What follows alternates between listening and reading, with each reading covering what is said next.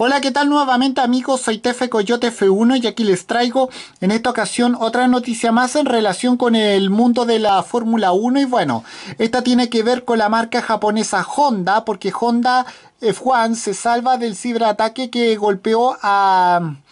a la compañía japonesa y bueno, las operaciones de este fabricante japonés en la Fórmula 1 pudieron continuar con normalidad y bueno, ¿qué les parece si vamos a hablar de aquello? Bueno, después de conocer que el fabricante japonés eh, se viera golpeado por un ataque informático el pasado lunes, eh, un portavoz de la mismísima marca japonesa ha, podido confirmar en una, de, en declaraciones para eh, el medio llamado Race Fans que el apartado de Fórmula 1 no se ha visto afectado y, y que ha podido continuar con sus actividades eh, normalmente. Bueno. Bueno, mientras que la compañía se vio obligada a cerrar una gran parte de su fábrica a causa de este ciberataque,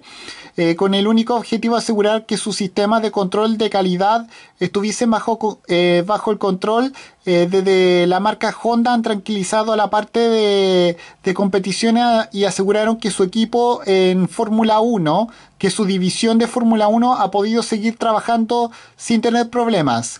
tanto en su planta de la ciudad de Sakura en Japón, como también en la fábrica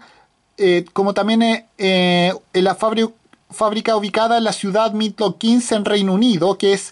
cerca de que está cerca de su de su principal cliente, el equipo austriaco Red Bull Racing, han podido continuar con sus actividades que fueron programadas anteriormente y esto fue lo que se dijo. Están avanzando con normalidad mientras nos preparamos para la reanudación de la temporada de Fórmula 1. Bueno, por su parte, eh, para la marca Honda, sus operaciones eh, en su división de Fórmula 1 no se han visto afectadas a falta de menos de un mes para que la máxima categoría del automovilismo mundial vuelva a, a moverse, ya que de haber paralizado de nuevo sus actividades después de este largo parón a causa del COVID-19 coronavirus, habría sido un duro golpe para la compañía japonesa. Bueno desde ya hace unos años que la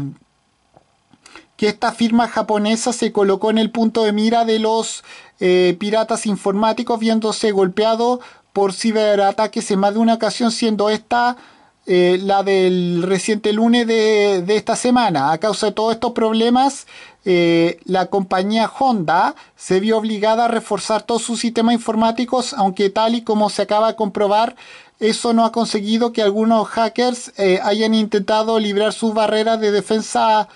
eh, nuevamente. Y bueno, con esto me despido. Adiós, que me fuera. Chao.